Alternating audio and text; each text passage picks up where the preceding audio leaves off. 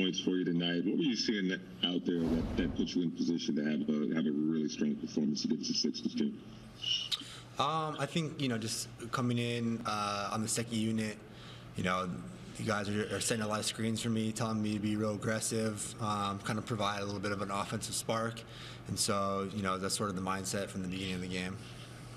You know, shorthanded, no Kyrie. Um, you and Caris and Jarrett were on that Nets team that faced the Sixers in the playoffs a couple of seasons ago. In a situation like this, when you're, you know, when you're shorthanded, or just in general, what kind of advantage does it give you that you've been able to grow, develop, and have the common chemistry with those two guys in particular?